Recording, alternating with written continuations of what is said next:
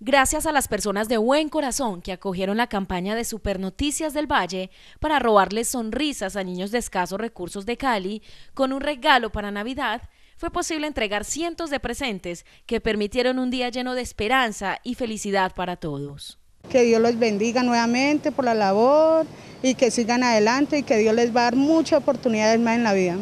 Como es costumbre en nuestro noticiero, incentivamos que esta fecha siga siendo propicia para dar de buen corazón a quien lo necesita, haciendo de este acto solidario que los niños, el futuro de nuestro país, tengan ilusiones y no paren de soñar. Que muchas gracias por todo.